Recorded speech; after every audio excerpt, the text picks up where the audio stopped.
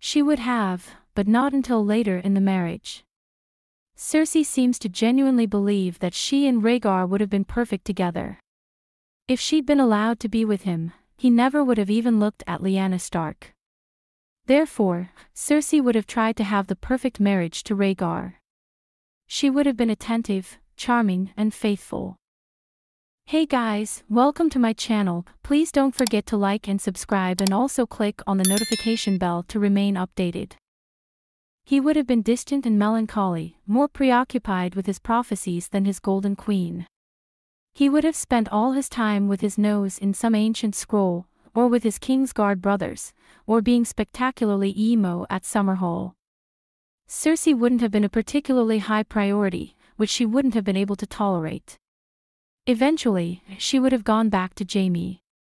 She might try one last-ditch effort to make Rhaegar love her, bearing his child, but it would fail, and she would go back to Jaime.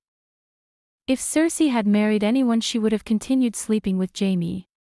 When she looks at Jaime, she sees herself. She even told Sansa that when they were children Tywin couldn't differentiate between the two of them because they looked so much alike. The only man she's ever loved is a reflection and extension of herself. She's a narcissist and no one would ever be good enough for her except a reflection of herself. Cersei worshipped Rhaegar like a god and did mention that Jaime looked kinda basic compared to Rhaegar. But we do have to realize that Cersei is a narcissist.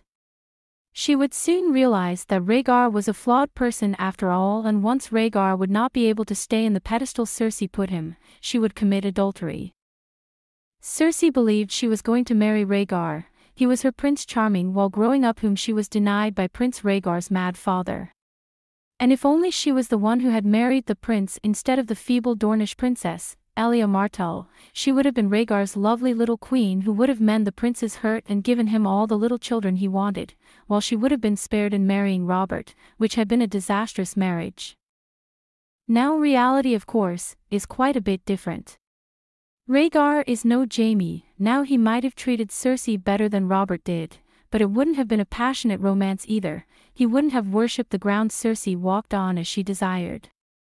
Rhaegar was mainly driven by prophecy and duty, and the one time he seemingly did fell in love with someone and was acting out of passion and desire was with the free-spirited Lyanna Stark who was a far cry from Cersei Lannister. So yeah, eventually Cersei would have inevitably ran back into the arms of her twin brother, because Rhaegar in truth would have never been her Prince Charming as she believed him to be, just like how Robert would have always been driven back into the arms of his whores, because Lyanna wasn't this beautiful idealistic little maid he made her out to be.